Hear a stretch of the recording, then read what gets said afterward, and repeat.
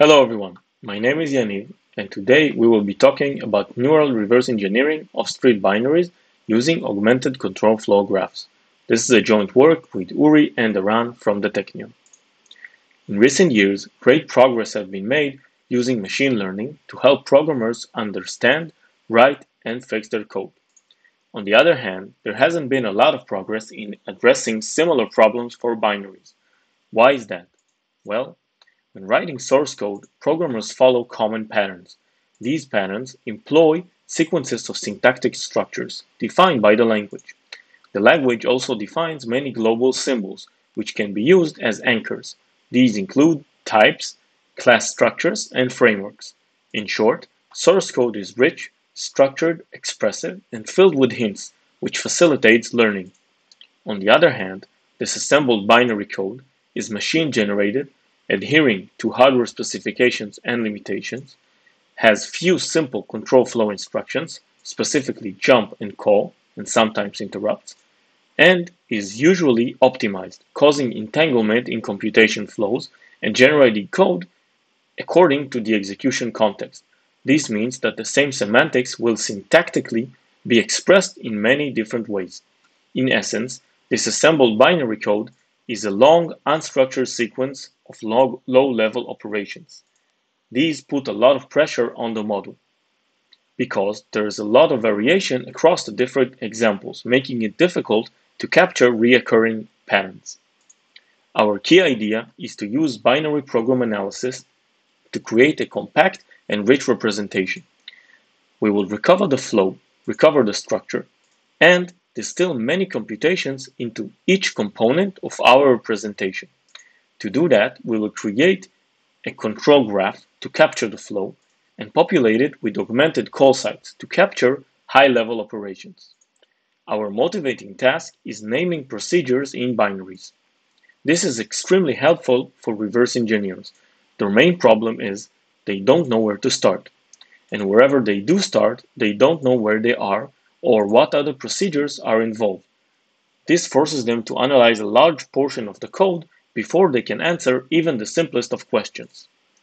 Given a predicted name for all of the procedures will allow them to know where to start, where they are, and what other procedures are being involved. Overall, this will save them a lot of time and effort and will allow them to focus on the right procedure to analyze. Now we can move to describing our approach. At first, we will extract paths from the CFG. These are simple paths without loops. We will stitch their basic blocks together into one instruction sequence. Examining this sequence, we see that the APIs will uh, API calls will appear again and again in the different procedures and different executables. This makes them a good anchor for our representation. We will reconstruct a call site for each API call we will use the library information to ascertain the number of arguments being used at the call and the calling convention to understand which registers are used, used to pass these arguments. After reconstructing the call sites, we remind ourselves that in the original C code there was a lot more information. There were the names of the variables being used and some concrete values. While the names of the variables cannot be reconstructed, we will use data flow analysis to reason about the register values at the time of the call. For example, we see that RDX is a straightforward case of being assigned the, the, concrete value 16 just before the call. But in these two other cases, a more complex set of instructions construct the value. Keeping in mind that we want a compact representation, we will augment the call sites by using concrete or abstracted values. When a concrete value is available, for example, integer, an enum, or a string, we will use that. In, the other, in other cases, we will use four abstraction, abstractions which provide some information about the value being passed as an argument. In our case, we have four abstractions, arg, marking procedure argument, global, marking a pointer to a global variable, ret, marking a return value from another procedure call, and stack marking a pointer to a stack memory, which usually hints that this is a local variable. We also add the no information abstraction for cases in which we don't have information about the value. As you can uh, see, as we move down the list, the abstraction and the information we have are less informative. This is why we will give priority to higher abstractions in the list, and if we have concrete value, we will use that. Let's examine an example for calculating an abstract, an abstract value. This is a two-step process. First, we will use a pointer-aware slicing to build a slice tree, and then we will use it to calculate the abstracted value. We start by the RSI uh, register from the connect call site. We'll start by following the uh, value stored in RSI. We see that just before the call, the RSI gets is assigned the value of RDI. We will now follow it its value. We see that the value of RDI was assigned from a memory address RBP minus 50. We will also follow the pointers. In this case, we see that RDI is not used as a pointer. We keep following uh, the values. We see that RBP is never assigned inside the procedure. On the other hand, we see that the address of RBP minus 50 is assigned another value. And we keep following this one, RDI. We see that this is not assigned in another place in the procedure and the, and the pointers are not changed. Given the slice tree, we will place tags to, and propagate them to calculate the final representation or abstraction for our uh, register.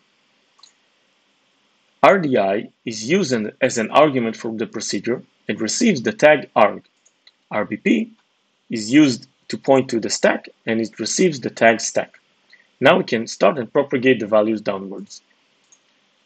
First, we see that argument is competing with the no information, so argument uh, will carry on, and same for stack. Now we have a conflicting uh, tags. We see the stack against argument.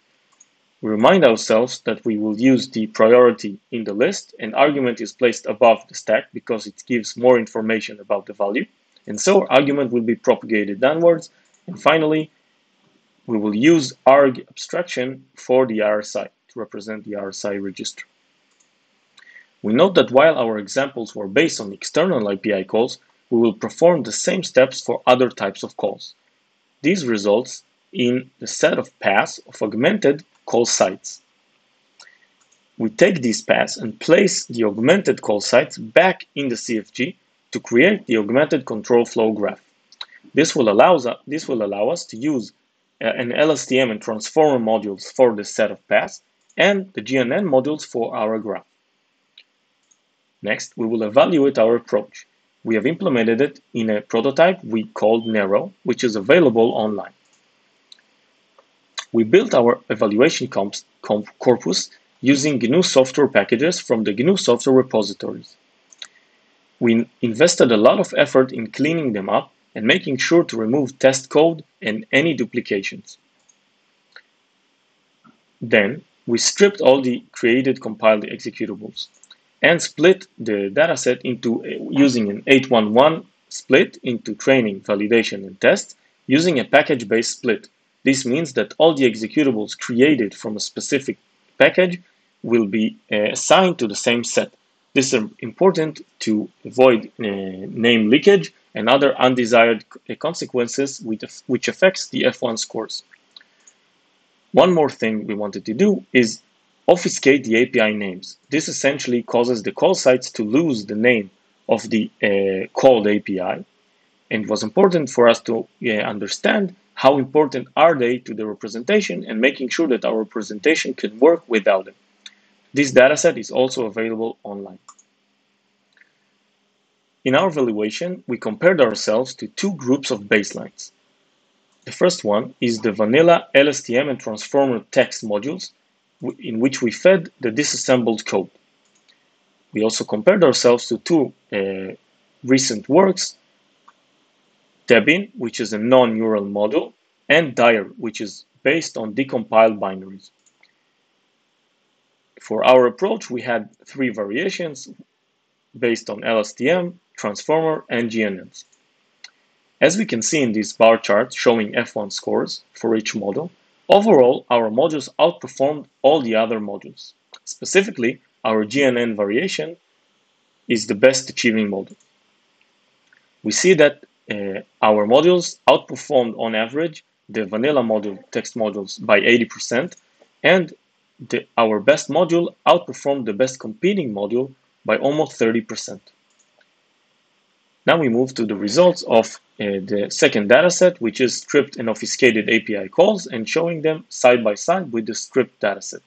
As we can see, all the models suffered uh, degradation in F1 score results, but still our GNN module is the best uh, performing uh, uh, compared to the other modules. We moved to an ablation study, which we used to ascertain a uh, grasp on the different parts of our system and how each one contributes to the final model. First, we only took the first step, focusing on the APIs and other calls. As we can see, this result is slightly better than the vanilla ones using just LSTM, but it's still far gone from the final best result.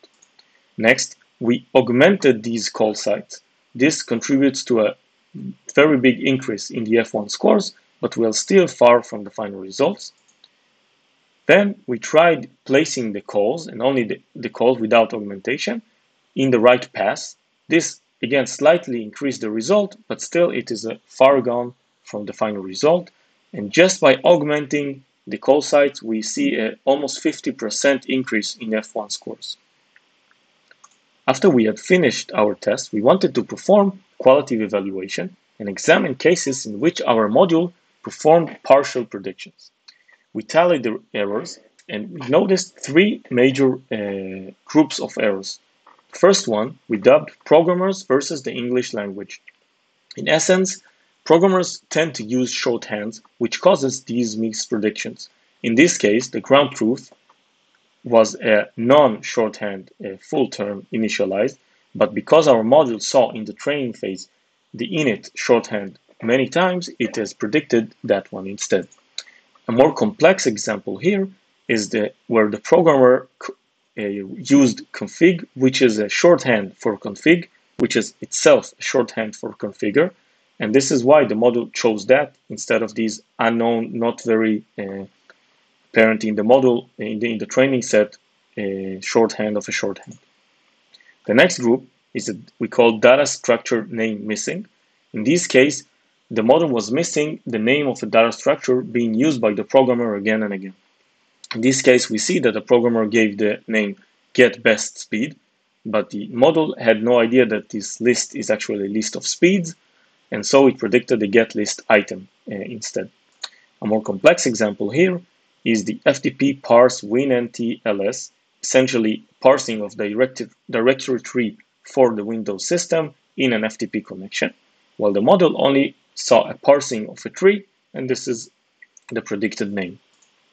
The third group is just verb replacements. We see read replaced by parse, retrieve replaced, replaced by get, and display replaced by show. At the end of this process, we concluded that the measured F1 score is actually a lower bound for the usefulness of our uh, approach because these predicted names are very useful for the programmer. It's also not customary to uh, fix these results manually, and so we left the results as they were. That's it. I leave you with two takeaway messages. Augmented call sites serve as a strong basis for procedure representation and that reconstructing the CFG enables the use of sequence-to-sequence and GNN models. Generally, we recommend combining binary program analysis with machine learning to find a sweet spot and solve many different tasks. We really think that there is a lot of room for more work in this field. Also, check out our GitHub repository for more resources and information. Thank you very much.